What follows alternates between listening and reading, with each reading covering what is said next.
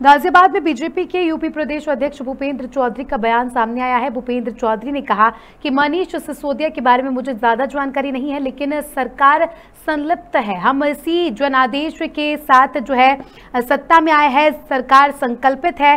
साथ ही जो है, भ्रष्टाचार पर उन्होंने कहा कि जिन्होंने अनैतिक साधनों का इस्तेमाल किया, उसके खिलाफ विधि सम्मत कठोर कार्रवाई की जाएगी।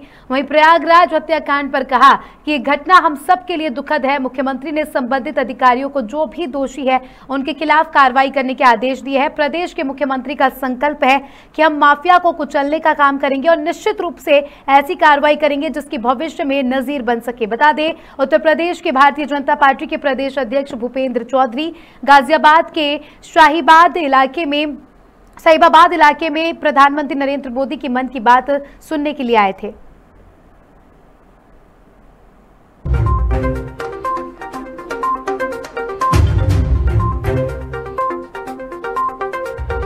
आज प्रदेश के प्रधानमंत्री जी के मन की बात का जो कार्यक्रम है, उसमें मुझे आज इस बूथ पर प्रतिभाग करने का अवसर मिला है।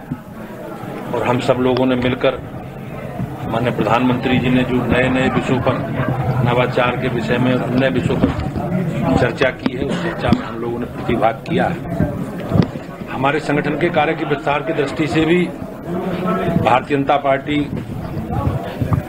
उत्तर प्रदेश सहित देश के सभी भागों में प्रत्येक बूथों पर ये कार्यक्रम सुना जाता है।